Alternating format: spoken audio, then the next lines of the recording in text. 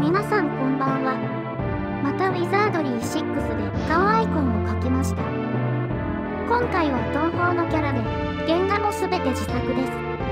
まずはコンパクヨウムさん。このゲームは侍が強いので、侍やってもらうためのチョイスです。次はエブキスイカちゃん。鬼なんて種族はないので、ドワーフにしてますが、戦士です。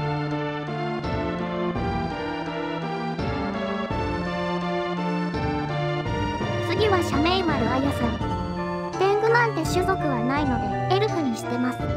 職業は忍者です。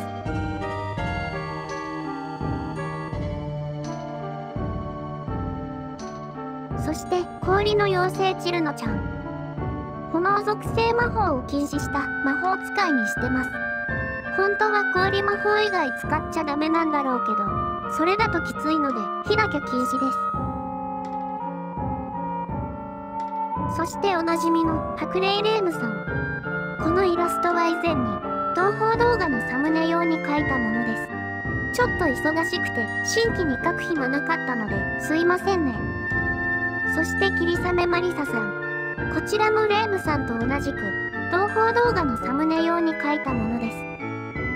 これでパーティーに必要な6人は揃いました。今度はこの東宝パーティーで実際にウィザードリー6をプレイしようと思います。それではまずオープニングとあらすじからどうぞ。この世には知らねばならないことがある。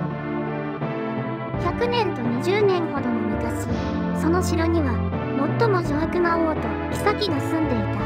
王は自らに並ぶほど邪悪な魔法使いと手を結び彼ら以外の邪悪な魔法の戦いを繰り広げた。彼らがコズミックフォージの存在を知ったのはこうした戦いの最中だった。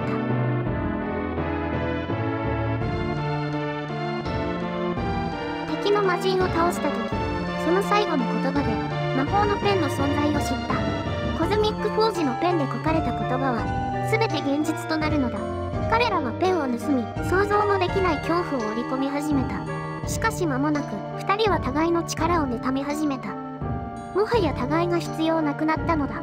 そして魔法のペンをめぐる最後の戦いを繰り広げた。それが知られていることの全てであり以来城に住む者はなく彼らとペンがどうなったか知る者もない。しかし今新たな冒険者たちがこの城を訪れたことによって全てが変わろうとしている。以上がこれから行く城と魔法のペンのお話です。それでは城の中に入りましょう。もしあまりに危なければいつでも引き返して外に逃げられる。そんな安心感とともに縄文をくぐった。しかしどうもそういうわけにはいかなくなったようだ。城の玄関ホールへと進んだ。変わったものは特になく熱い埃が床一面を覆っていた。廊下の遥か彼方から何か動き回る物音が聞こえる。ここでは自分たちこそが侵入者なのだということを思い出した。というわけで城の玄関です。このゲームはオートマップがあっていつでも見れます。そのため、ウィザードリーシリーズとしては難易度低い方だと思います。その箱には次のような文字が刻まれていた。これを2番目に開けよう。言う通りにしないと、箱の中身がしょぼくなるので、言うこと聞いた方がいいです。これを最初に開けよう。この2つの箱は新規さんへの選別なので、罠とかはありません。箱の中にはいくつかの品物と、次のような巻物が入ってた。ひとたびの治療を2度、回復を3度、何時に1つの命、与えることななど、行々しいこと言ってますが、箱の中身は回復薬ですよってだけの話。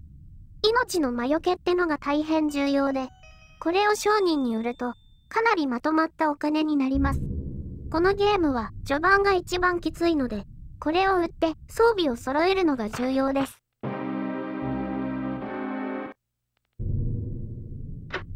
箱の中にはいくらかの金貨と剣と巻物が入ってたあらゆる可能性を考えよ。このストライキングソードがいいものです。このゲームは、近接攻撃がとにかく当たらないので、命中補正のあるこの剣は重宝します。まあこれがあっても当たらないんですけどね。この東方パーティーでは、転職は禁止とします。このゲーム、転職がいつでも自由にできるので、転職しまくってレベル1からやり直すと、簡単にスキルをカンストできたり、魔法を全部覚えて MP も999にできるんですよ。それやっちゃうと、個性も何もなくなるので、封印します。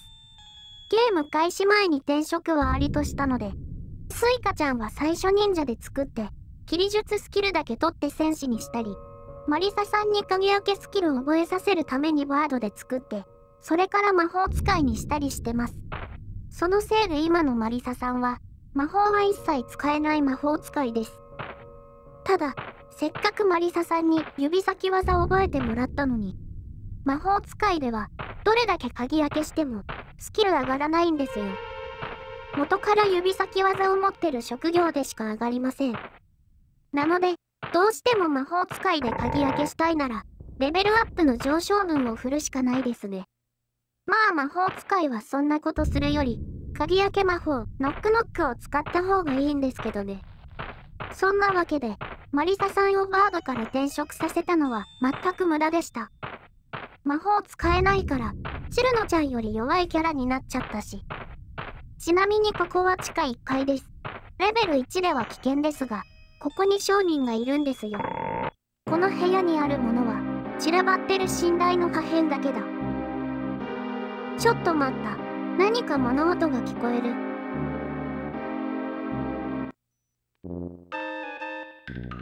物静かで暗い感じの男が現れた。掘り出し物に興味ないかね。買い物の前に話をしますね。こんにちは。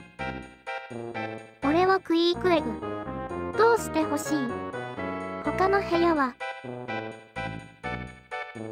扉を開けてみろ。ダンジョンはモンスターの住みかだらけだ。モンスター。お前の破滅だけ考えてる奴らのことだ。ダンジョン中どこにでもいる。コズミックフォージとは？それは何のことだ？聞いたこともない。面白い話はない。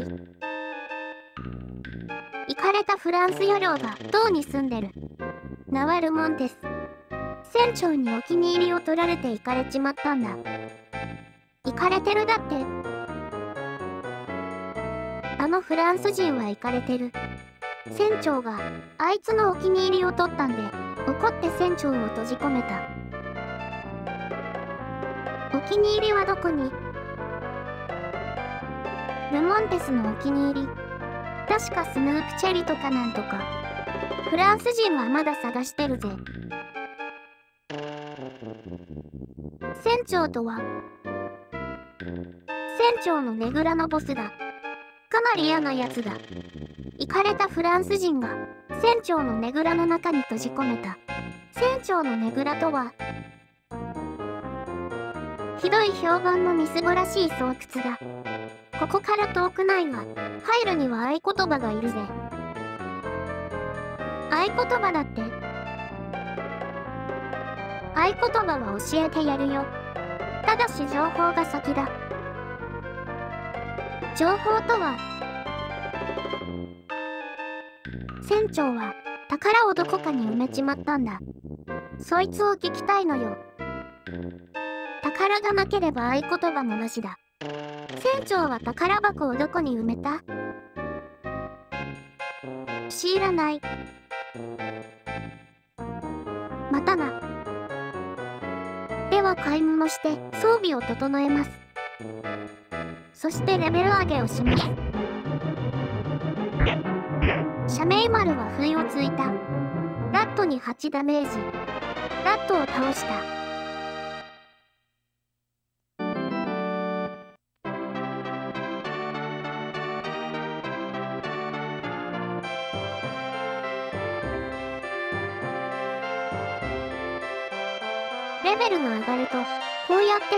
スキルに振ることができます。スキルは使ってると上がっていくものと、レベル時に振らないと上がらないものがあります。こうして、レベルをある程度上げました。4レベルまでは上げたので、これくらいあれば、城内の探索ができます。あやさんは、鍵開けスキルマックスの100です。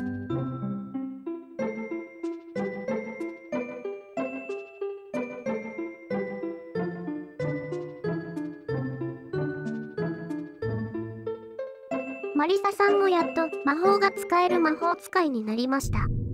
それでは、城の2階を探索していきます。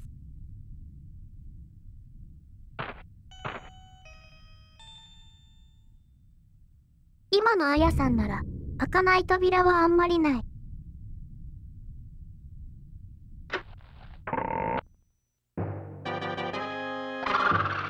このゲームは敵が大量に出てくるので魔法は必須です。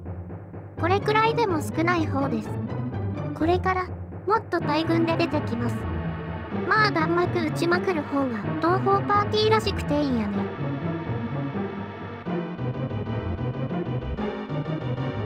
ヨウムは刀を振った。ワットに5ダメージ。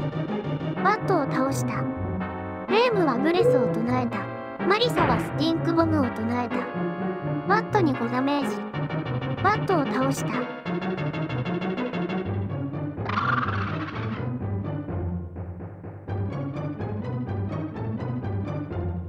そうそう、魔法は属性ごとに MP が個別であります。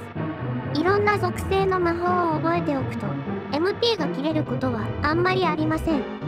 魔法欄のサイコロアイコンはパワーレベルです。威力を自分で選べますマリサはマジックミサイルを唱えた？ワットに8ダメージ。ワットを倒した。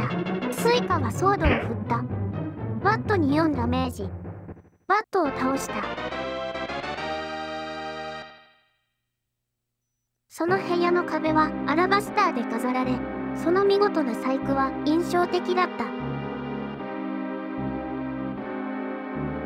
大の男3人が横になってもまだ余裕そうな大きなベッドの残骸が崩れ落ちており元は家具だった木材が散らばっていた。おそらくこの部屋は妃の寝室だが彼女が若い男たちと奇妙な儀式を行っていたという噂が本当かわからなかった。というわけで妃の寝室ですね。このゲームには宿屋とかそういうものがないのでいつでも休憩で回復ができます。休憩中に襲われることもあるんですが、エンカウント率は低めなので、そんなに危険でもありません。こういう仕様なので、割と MP は常時満タンにでき、魔法をケチることなく戦うことができます。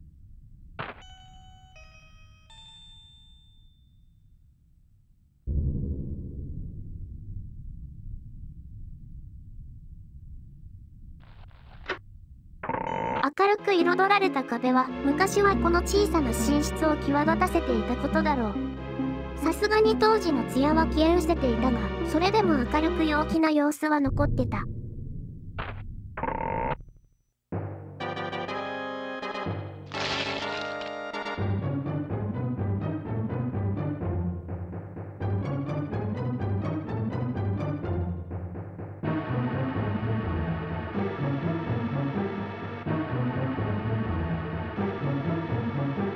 チルノはスティンクボムを唱えた。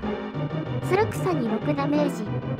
ツルクサを倒した。スイカがソードを振った。ツルクサに3ダメージ。ツルクサを倒した。ちなみにツルクサってのは不確定名です。モンスターの正確な名前がわからないことがあるので、その場合は見た目のままの仮の名前になります。名前がわからないということは、弱点や攻撃方法がわからないということになるんですが、慣れると場所とグラフィックで大体何の敵かわかります。隠した宝箱です。罠の種類を調べて解除する必要がありますが、魔法で簡単に開いたりします。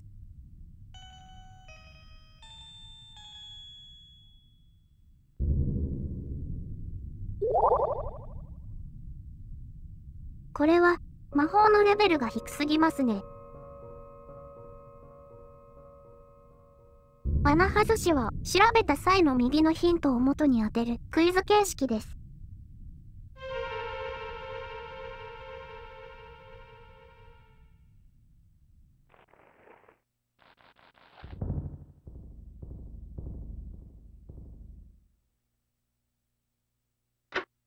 大きなトランクに入ってたのはちょっとびっくりするような一種の鎧というかそんな代物だった。すなわち黒い革製で尖った金属の飾り秒で縁取られたごつい作りのブラだった。その使い道ははっきりしないがもしふさわしい人物に着用されたらある種の魅力を醸し出す可能性があるようだった。に困ったことに奇妙なブラとともに黒くて長い鞭が出てきた。妃の寝室で一体こんなものを何に使っていたのだろう。そういうわけで SM グッズが手に入ります。ブラはバードあたりにはいい防具なんですが前衛が着るには不十分ですね。鞭は後ろからでも攻撃が届くのでそこそこいいです。妃の寝室を出ました。他の部屋を探索します。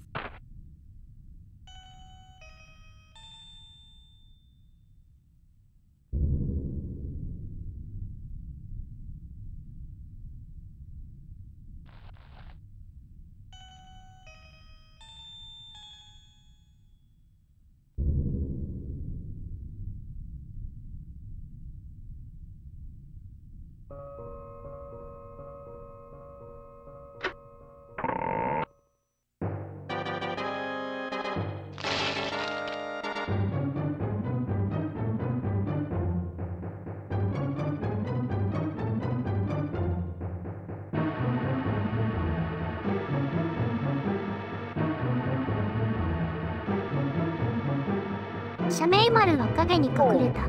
チルノはチリングタッチを唱えた。つる草を倒した。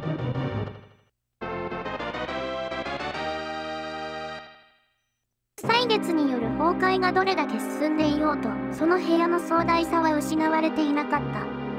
ここはおそらく城の中で最大の寝室であろう。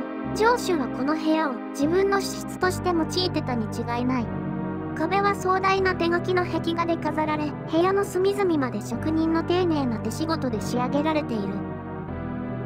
暗く荒れ果ててはいたがかつてこの部屋を彩った美しい輝きはかすかに残っていた。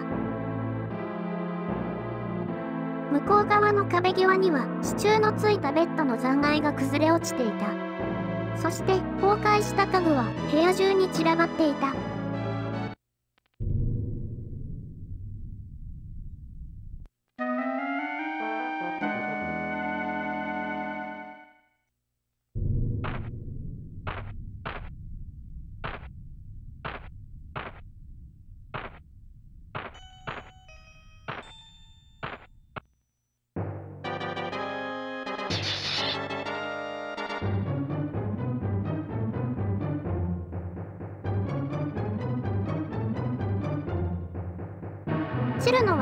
グタッチを唱えた。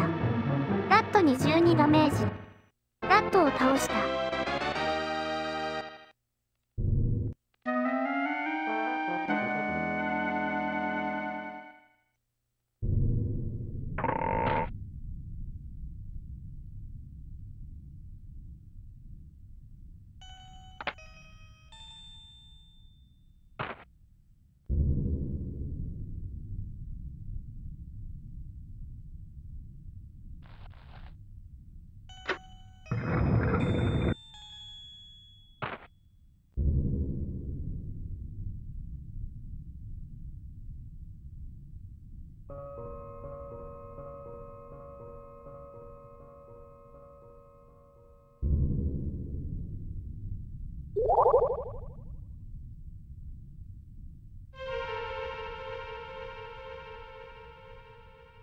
マリサさんも魔法を使ってみましょう。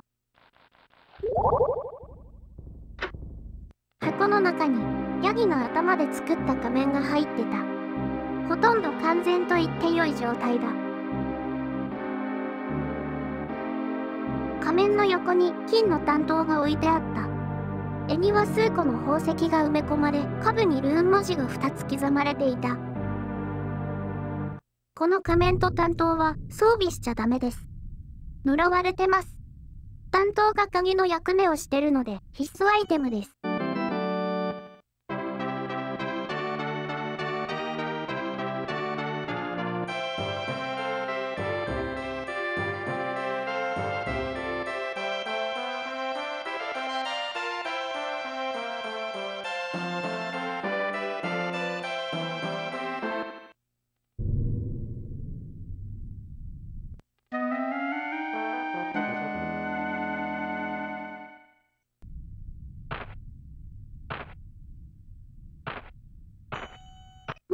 お羊の紋章があり、鍵穴は他より大きく、何かを突き刺す形になっている。ここでさっきの担当を使います。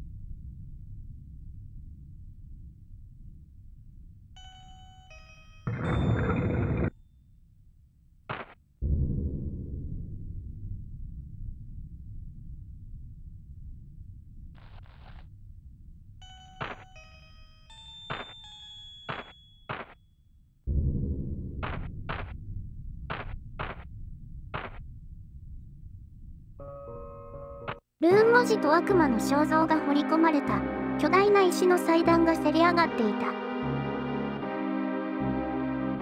グロテスクな像は機械の儀式の様子を描き真っ赤な染料がその表面を染めていたその残忍な彫り物は恐ろしい物語を伝えその神聖ならざる意味に冷たい静けさを与えていた。その彫像はひとたびは城に備わっていた。ゲルト風の魅力を全く消し去りリアルで恐ろしい悪夢によって清らかさは全て失われてしまった。うん長い。汚れた石板を探ってみると祭壇の中に押し込むことができる。スイッチのような3つの特別なシンボルが見つかった。そのシンボルはそれぞれ炎の宝珠ヤギの頭杖だった。ここは順番通りに押すと先に進める仕掛けなんですが、まだヒントを手に入れてないので、答えはさっぱりわかりません。攻略サイトを見ればもちろんわかるんですが、ゲーム内のヒントを探してみようと思います。そういうわけで、この場所には答えを見つけて後でまた来ます。では、今回はここで終わります。このゲームに興味が湧いた方は、ぜひ東方キャラを入れて遊んでみてください。それではご視聴ありがとうございました。